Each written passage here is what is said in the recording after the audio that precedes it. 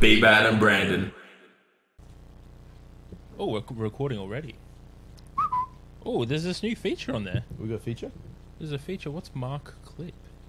Add marker. Oh, you can add markers to it too. Marcus? Oh, I guess that's in case you need to edit stuff. Ah, I was thinking we could have a sick filter or something, perhaps. Oh, yeah, like we're in space. I want that. Like when we had Scotty on and he was in the fucking, He was in the universe. he was in the space, bro. It was sick. How's the How's the start of the year, bro? Uh, we hadn't have any sleep last couple of nights. That's been good. Oh, bub. Yeah, fuck. I had to cancel clients today.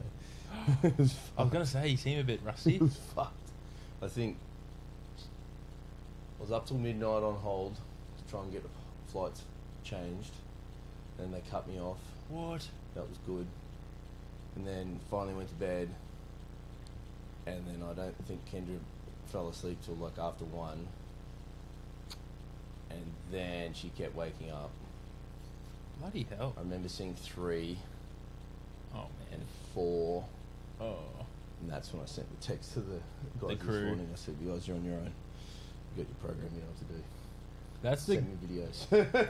That is the good thing about the nature of our industry and the, the degree of they've been around so long, they know what to do with something.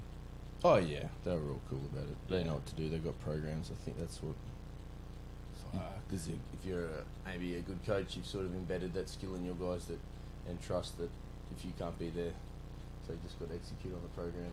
Yep. They know how to provide flexibility within it. And if surely, needed. if it's a program you've run, oh shit, program you've run for a few weeks now, they know what they're doing. Yeah, yeah, just fucking squat 700 sets and go do some leg press and go home. 700 sets. that's the secret, bro. It's no more five sets, 700. You heard it here first, platform exclusive. New training protocols. Exactly. I'm all about it. the 100 set protocol. Fuck I never that. saw you be. It's like Rich Piana's eight hour arm workout, bro. Yeah. It was like when, um, it was Stenzel, no, not Stenzel. It was Lily, and that how he hurt his, hurt his hip Yeah, he did all those squats. to take the record, and then he ended up not having the, Now he's got no hips. yeah, and he ended up not having the right adjudicator to go for the record, so Oh, yeah. the record never ended up actually counting. Imagine that. All that effort. Fucking hell. All that pain. Fuck, you feel bad, eh? Oh, you do feel bad. That sucks. you feel sore. you would. And he's still paying for it too. He's still fella. squatting. Still squatting, still sumoing. Yeah, Champion. just get some bionic ones later.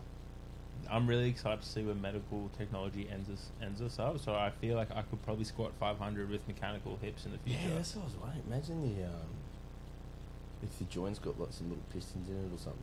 Yeah, so like, like I you're would- not just relying on I would like a new ankle. on muscle mass to move the weight, like whatever piece of mechanical. You're not relying on muscle mass because I have none. Is that what you're saying? Yeah. I didn't want to. It's okay. I get it. I get it. You and everyone else. No, fine. You got tape on there, bro. What's going on? Oh, it's just like the on flow, and this is like I think I was gonna lean into chat about today. It's like when you do an injury and you rectify that initial injury, people think like you're smooth sailing, Mm. but there's an on flow effect. So what we're dealing with now is post Achilles rupture. Now that I'm back training, obviously everything has atrophied and been detrained on my right leg. Mm. So we've developed a little bit of, you know, hamstring tendinopathy and a little bit of patella tendon, tendonitis tendinopathy. So Yeah. we're just managing that now before it gets out of control. Yeah, The good thing is we like, I'm onto it. yeah, yeah, yeah. I mean, because you spent how long with an Achilles rupture, and the rest of Yeah. your body's still got to move you some way. Exactly. Potentially is not the most efficient way, but Oh no, it definitely wasn't. It- 'cause what, what, remember, I was in the moon boot for what nearly three months, so that's a lot of That's- muscles doing things they're not meant to. a hundred percent, and then, like even once you're out of that, you still can't walk properly. No. which means you're jacking up your hips somewhere. There's a there's a compensation at some other joint of stability. Mm. So that's going to create dysfunction and different movement patterns to overcompensate. Yeah. Next minute, you're dealing, you're getting some niggles when you start back training. Oh, I've never had this before, and yeah. yeah, yeah. So now we're uh, rehabbing, but also it's not at the point where I can't. I have to stop training. Yeah, I wonder. I often wonder about that because, like, fuck, how many good, let's use the word practitioners now because there's so many different fucking types out there. Bro, there is, isn't there? Um, oh. they're all doing the same thing, just rehabbing your body. Mm. Um, that actually recognise that versus just a cut and placed. I read a good post on Instagram just talking about how they rehab ACLs, and it was just you know they've got their timeline. You do these things at the timeline. You complete your timeline for an ACL, and then you move on. What, I'm looking, um, what'd you do? Achilles. Achilles, yeah. Achilles next. You're so tired, Um, bro. yeah, you do your, your Achilles, and that's your protocol because that's what you learned at your your school, and then you just move that person back out into the I into think the world, which you know maybe that works for normal people who don't challenge and stress their bodies. exactly, and I think you just hit the nail on the head. Is that it's the continual stress and challenge of the body that doesn't allow, like, as an athlete, mm. weekend warrior, whatever you wanted to be described as, like I want you to be a weekend hacker. weekend hacker. Well, I don't even have weekend. Maybe I'm a, a week hacker. Maybe you're a I don't want the day week, hacker. I don't want the word week though. Maybe you're a day hacker, Day hacker. like a night walker. Sometimes I'm night. When you yeah, when you messaged me at two a.m. the other day, I was like he's clearly on night shift. yeah, baby. Yeah. I was like, bro. Um, Only time that did work. But you know, I agree. Like, I think nothing when it comes to rehab is textbook. Like, there's a, and I think the good practitioners and even good coaches will work within the timeline. Going, okay, this is a good starting point. Mm. These are these are some boxes we can tick, but we got to overlay it to the individual needs. So we know that Brando's going to be an idiot and try and get back to training as quick as he can because he's fucking bored and misses lifting heavy. Not we know that. So training's not fun. exactly. So what what parameters can we put around him, or how can we, you know, safely move him through? And I was good. Like obviously Pegler was there for the initial, the initial hit, so he was able to get me out of the moon boot a lot quicker. Um, and that just comes from experience, not a textbook. Mm-hmm. Like th- th- and I was just talking, seventeen years plus in the industry. You think he knows something, He knows some things. and he knows a thing about a thing. Yeah. So I think- I love it when people, because obviously, you know, let's let's talk about ex client who's newish, so they've already got their um, relationships built or their their network, or they just don't have that trustee yet, so they go and see the physio they've found or been recommended, and then they go get X injury addressed, and then maybe one to two weeks or the next day you get a message, phone call, or chat where it's like, oh my, this was a bit that, so I went and saw this physio and then you're like, oh, well, man, that's, that's good, but you know, next time just let me know because we've got our own network of people, and I'm not saying they're better, but normally they're really good. Perhaps use them. That's- and then fucking four weeks later, oh my, fuck, it's getting worse. Yeah, um, but you know, it's maybe maybe they missed something. Perhaps you'd like to go see my guy, get another opinion. And then sometimes they'll say yes, and they go over there and they go, "Fuck, wow, that was different. It was so much better." It's like it's It's like, like, why didn't you just fucking ask me the first time? it's like you fucking wanna, muppets. Yeah, literally, literally bang your head against the wall. And if you're not watching, Johnny just did that with the microphone, which you probably heard it actually.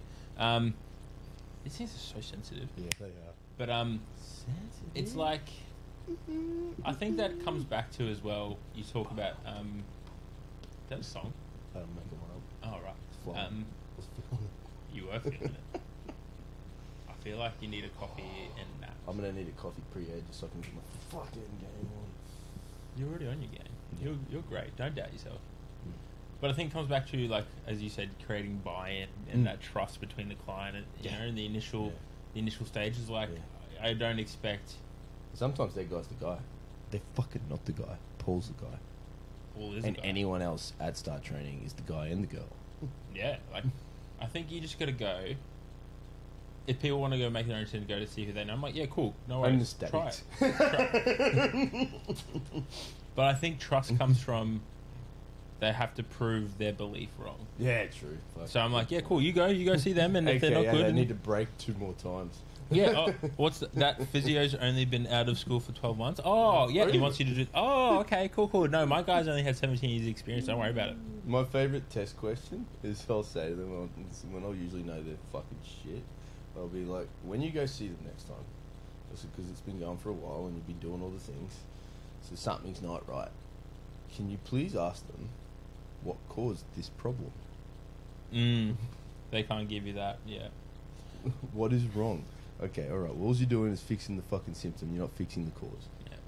See, that's my thing as well. It's like if you know the cause, you're not just reacting to symptoms, but you're Yeah. being proactive to what could potentially happen because like anything, even with training but rehab, it needs to be scalable. Mm. You need to be able to scale up as Mm. you move through the steps and then you need to be able to regress if you push it too far too I think quickly. you need to understand you're going to regress, yes. but it's not linear.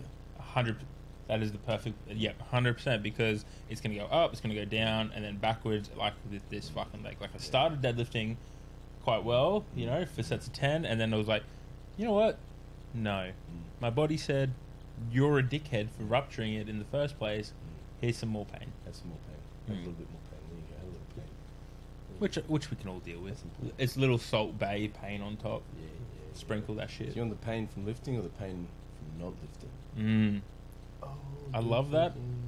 I love that thing when people always say it's like, I think it was Mark Belly. Like, I'm gonna be in pain whether I do anything or not. So I might as well be a fucking savage. Yeah.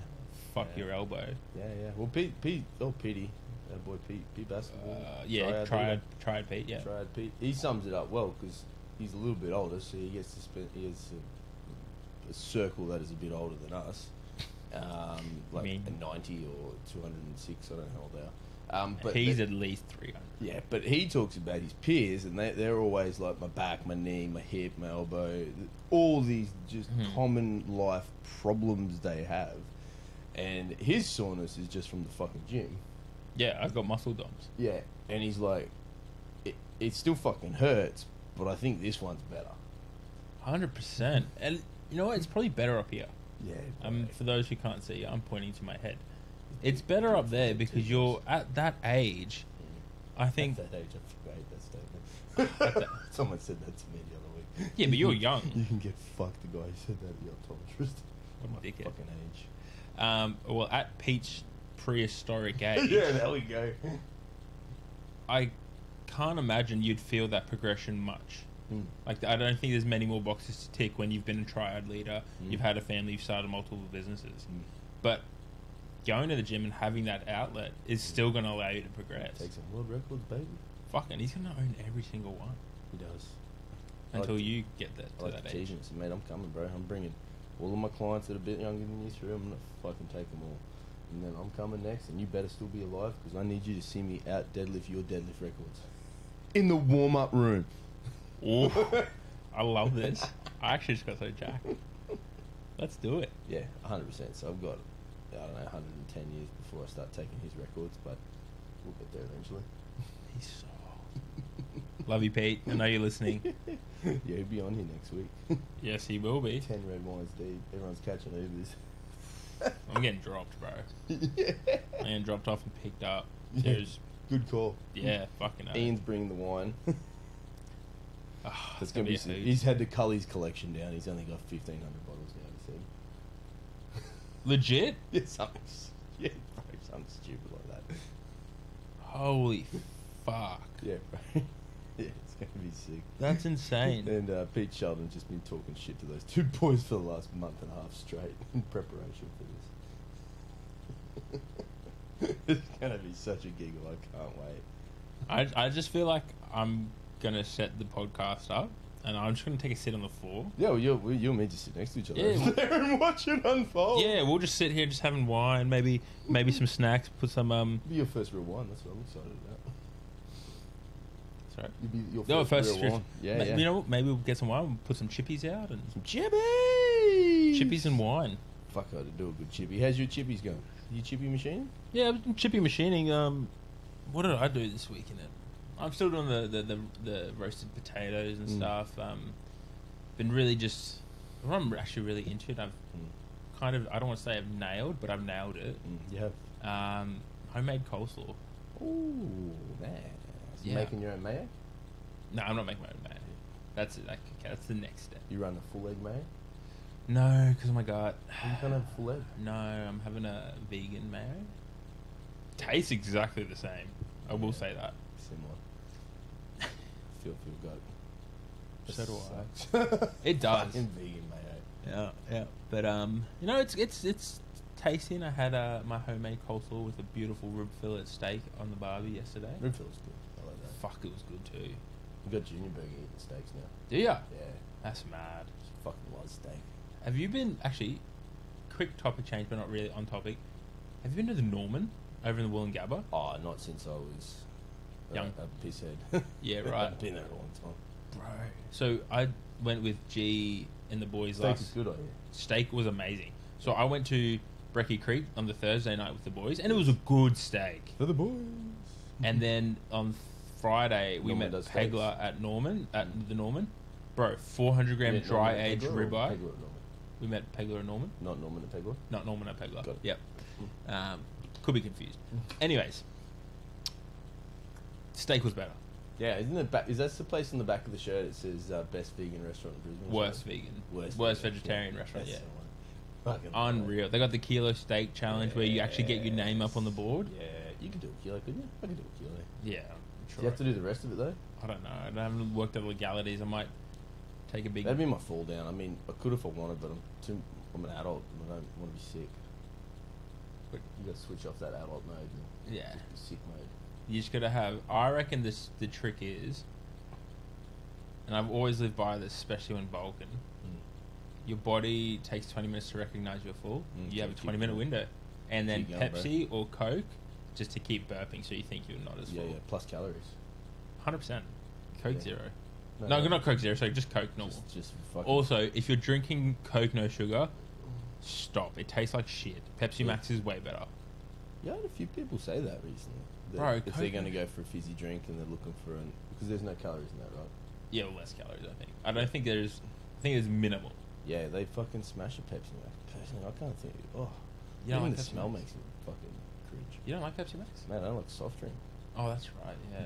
Occasionally, very occasionally, maybe a, a, a Pasito, just for, OG. for for old time's sake. Yeah. If you if you're not if you're listening to this podcast and you're over the age of 25 and you haven't had Pasito, Pasito, or perhaps a creaming soda. A Oh. creaming soda. Those were the days. That'd be nice. When if you're lucky and you went to the shops, mum would get you a can Yeah. or a couple of cans for the fridge. You got to budget out for yourself throughout the week. and week. you felt like such a baller. oh fuck! I'll go grab my can.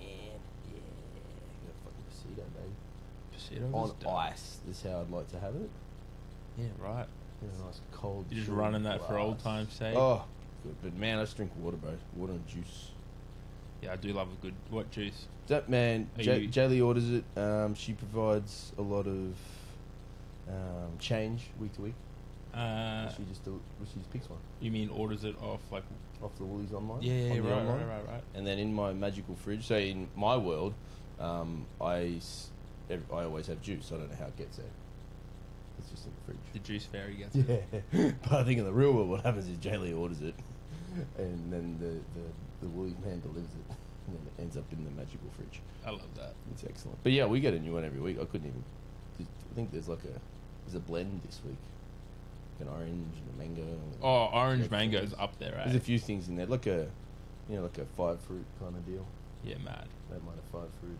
Yeah. Because in the morning, man, I'd fucking love my go-to because you. Oh, you don't work as many mornings as me, do you?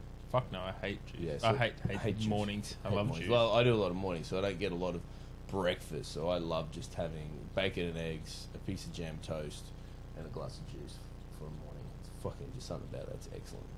That actually sounds amazing. How good's jam? What jam you running? Oh, it is a blood orange. Blood orange. Yeah. What's your favorite jam though? I'm gonna. I don't mind a strawberry, but it's got to be a fucking good one. Yeah, I reckon strawberry jam is goat. Yeah, strawberry is fucking good. But we. I don't like raspberry. Don't- Thank you. Oh, raspberry jam Actually- is fucked. Fuck, there used to be, and it was. we really cover the important things on this podcast. strawberry, blueberry, and vanilla bean. jam. Oof. Big oof. And it was, you know, in the jam section, there's that French one. Yeah, yeah. It was made by them. I haven't seen it for a fucking long time, but that was a fucking good jam. Yeah, right. That was fucking delicious. I'm running a strawberry jam by Beerenberg. Beer bar. Yeah, Like- oh, they're. I reckon they're goat. Local jammer. Yeah, I reckon they're fucking goat. Like I love. Don't come at me with your raspberry jam bullshit. Fuck Ra- it off. Rugby's not a jam, bro. Raspberry is not a jam in any sense of the word. No, I don't want Ugh. Raspberries go on my shake. Yeah, fair. That's it. No, Strawberry that- jam is so good. Oh, strawberry jam. So, like sometimes if I'm wanting just extra cows, Yeah. four pieces of thick toast, Realistic toast. butter, two with strawberry jam, two with Vegemite. It's a it was a good trick. I used to like um, if I'm struggling for food, if I haven't enough through the day or need more, just because I'm trying to be more. Um, couple More of bits more. of toast, more is more. A Couple of bits of toast and jam post dinner. Oh, best treat. You know what season it is? Ah, it's hot cross buns. Fucking oath it is. Yeah. You know what I'm gonna try? Chicken machine. Oh, I'm, uh, yeah, I, Oh, I always do chicken it in tip, chip machine since you told me. Some good. Butter, Yes. and we'll put some jam on it this year. Oh, I do honey. You do honey. Yeah. Give honey a crack. Good honey, not that dirty capilano. Yeah, Good honey. on you it. need good stuff. Yeah. I reckon I'm gonna buy some hot cross buns today. Yeah, please, please. That's if you can. I'm gonna go to a bakery. Oh, I tell you, um, brew bakers for hot cross buns. Well, over in Albion. Yeah. Mad. Brew bakers. Actually, you know where I do want to go for a hot cross bun? Well, Flour and chocolate. or they do a hot cross bun. They wouldn't. They would work. Oh, I went there the other day. Mm. Got two pies. This. The beef brisket pie there is something Ooh, else. Eh? I do like fucking pie, bro. Nah, like it's ultimate. Eh? I love pie. I still haven't tried Micah. Mika, Mika, why not? because it's so busy all the fucking time. Yeah, but you don't stay in there. You just line up, get your food, and get the fuck out. I like to sit down and enjoy. Yeah, but you get or, or Actually, go real- sit in Newstead Park. That's a better idea. Also, public service announcement, announcement Flour and Chocolate also have gelato there now. Ooh, gelato. And I had a waffle cone with cookies and cream, and it was easily the best thing I've ever had in my mouth. do lot, and you've had a lot of things in your Oh, 100%. Some not always good. Yeah, some dirty. Um, Mika, bro, get there. Okay, I will. Dude, Sunday morning, mid morning, you and the lady go out for some brekkie, go in there, line up, not too long, it's quick. Get yourself a little coffee, make sure you get a sweet treat, and then you move yourself down to Newstead Park. You know what the problem is? If I go to those places, I can eat never. No, I can't eat can. it. I, I mean, like I can't. I'm not supposed to. But I fucking will. Um, like, I'll always get something savory, but then even if I only feel like something savory, I still have to get something sweet. So I gotta get a walked out with two pies and a fucking Danish the other day. Oh, Was I mad? No, No, I wasn't. I was so happy. a sweet treat? It's the best. Fuck, it's the greatest. Bro, I've got I'm excited. new questions. I'm very excited. New actually. year, new questions. New year, new me, new questions. Well, right, here we go. What'd you have for dinner last night? Burrito. Burrito. I have to think. What do you keep in the boot of your car? Um, it is a spare fuel can in case I run out of fuel because that did happen once a long, long, long, Fuck, long, long, long time that's ago. like a dad move. That is a dad move. Um, and then like a set of tool stuff Tools. in my training bag. Tools. Nice. When was the last time you changed your bed sheets? Last Thursday. Well played. So yesterday. You run a you run a Thursday? Is that the model? Or you Oh, it's just no when we had spare time. Yep. Middle name, James. favorite year, and why? Last year was the most challenging but most rewarding. First cassette CD record for those that a bit Oh shit! ever owned. Usher's Confessions CD, I think. Usher Confessions. Yeah. Uh, last dream you had? Oh, fuck, I don't even know. Um, it was one of those ones where I wasn't sure if it was a dream or if it was real. I had a dream. But we were fighting ninjas, Fuck, you might have been fighting some ninjas. And I like that's all I remember was fighting ninjas. Fuck yeah. Were you a ninja? No, no, I was fighting them, but I was like better than a ninja. I don't know what uh, maybe a samurai ninja. Samurai ninja. It's a fucking next level ninja. Yeah. Um, what will you be doing and where will you be when you retire? Noosa barbell. Yeah, baby. Your morning routine. Uh, so this is actually a good question because it has changed since becoming a dog dad. Dog dad, yes. Uh, wake up, have 500, 600 mils of water. Um, let the dog out to pee. I did. Um, come in, do my business on the toilet. Cold shower. Uh, like brush my teeth, cold shower. Beard oil, beard balm, blow dry. Put clothes on and make my shake, make my coffee, and out the door. Done. What do you think of AI? Like artificial intelligence. Correct. I think I would love to see vision from the Avengers come true. Yes. Um, I would love to see. I th- I think it's also a very scary like, I robot situation happening. Which was a great Will Smith movie. Just shout out. Mhm. So I think it could be very interesting. But I'm I'm all for it. Like, for the AI. yeah, I'm for the AI. I just don't want to see people become more lazy. No, no, that's it. That's it. Oh, that's it. That's the questions. Ten your questions. That was a good one. That was good. They were very quick. And you had one real rapid fire one. Rapid fire, baby. Easy done. Peace. Uh, Ed just texted me. Said he's five minutes.